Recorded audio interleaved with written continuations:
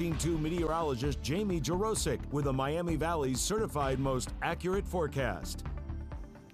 We have really been enjoying seeing our live cameras outside today, looking at that gorgeous sunshine, which we haven't seen in a while. You can see the city's looking a little golden in that sun's glow. Temperatures are cold if you do step outside. It looks pretty, but it's still 35 degrees and it's breezy. We have a south-southwest wind at 14 miles per hour. That makes it feel like the 20s. So definitely still cold, even though it's looking nice and bright out there. If you're planning a walk, have some layers on this morning, but if you go later today, you're probably not going to need as many.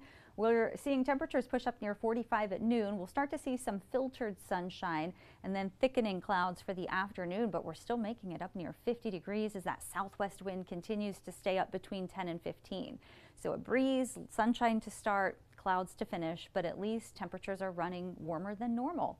Here's a look at our satellite radar loop.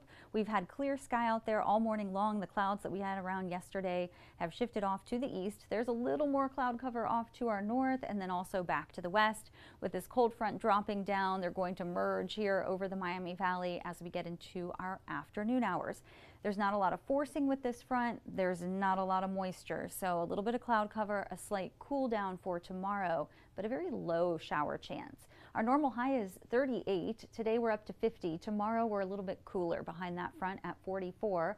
Then we start to come back up 52 by Sunday. Then we take another drop early next week, but 50s return through the middle part of the week and they may even hang around as long as next weekend. So it's a nice warmer than normal stretch of days for us.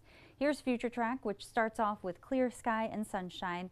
As we head through lunchtime, you can see a little bit of cloud cover here. This will be filtering the sun a bit and then thickening up later in the day, but it does still look dry for the drive home at 5 o'clock. Late tonight into early tomorrow morning, we may see a sprinkle or a light shower come through, but again, there's not a lot of moisture with that front, so anything that we do see looks very light and brief. And by the time we get to noon tomorrow, the threat of any light precipitation is over. It'll still be pretty cloudy, but then those clouds will quickly begin to decrease for the afternoon and we'll end the day with a good deal of sunshine. Here's your forecast today. We're up to 50, lots of morning sun, then increasing clouds. It'll be breezy, southwest wind 10 to 15. Overnight low drops to 35. Slightest chance of a spotty light shower.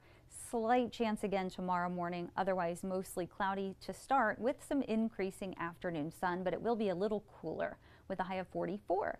Saturday back to mostly sunny 48. Sunday 52 and that sunshine continues through the middle part of next week as temperatures continue to run well above normal. You can